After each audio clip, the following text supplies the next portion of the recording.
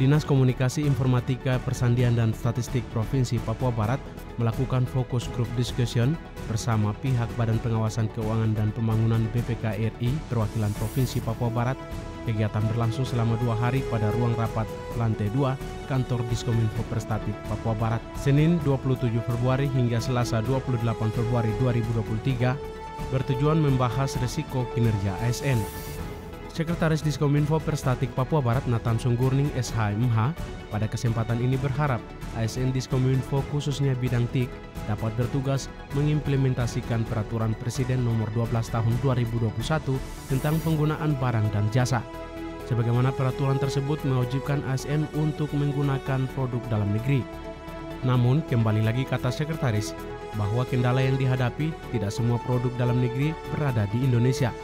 Solusi yang didapat dari pihak BPKI Perwakilan Papua Barat atas kendala tersebut agar ASN dapat meninjau kembali spesifikasi barang yang terdapat dalam tingkat komponen dalam negeri TKDN Kementerian Perindustrian Republik Indonesia. Ya, jadi pada umumnya sasarannya di bidang Kominfo adalah di bidang teknologi informasi komunikasi. Ya. IKP ya, Bapak. Ya. TIK ya. uh, teknologi tik, informasi ya Bapak, tik. komunikasi. Ya Bapak ini eh, dengan kegiatan ini sendiri berapa berlangsung selama berapa hari?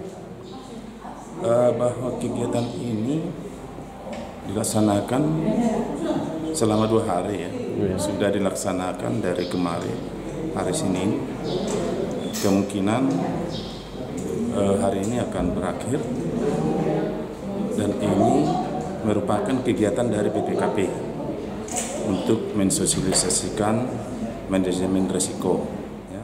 Sementara itu, auditor tim BPKRI perwakilan Provinsi Papua Barat Muhammad Sobri Komarudin AMD AK dalam kesempatan ini juga kepada media Diskominfo Prestatif Papua Barat menjelaskan FGD ini bertujuan mengantisipasi resiko kinerja ASN Papua Barat ke depan. Sebab menurutnya, masih banyak pembelanjaan produk dalam negeri yang ditawarkan. Untuk itu ASN disarankan meninjau kembali Perpres nomor 12 tahun 2021 agar ke depan produk dalam negeri dapat diperhitungkan. Selain itu, upaya terciptanya sistem pemerintahan yang bersih dan bebas korupsi. Jadi kami dari instansi perwakilan BPKP Provinsi Papua Barat uh, ditugaskan satu tim ya.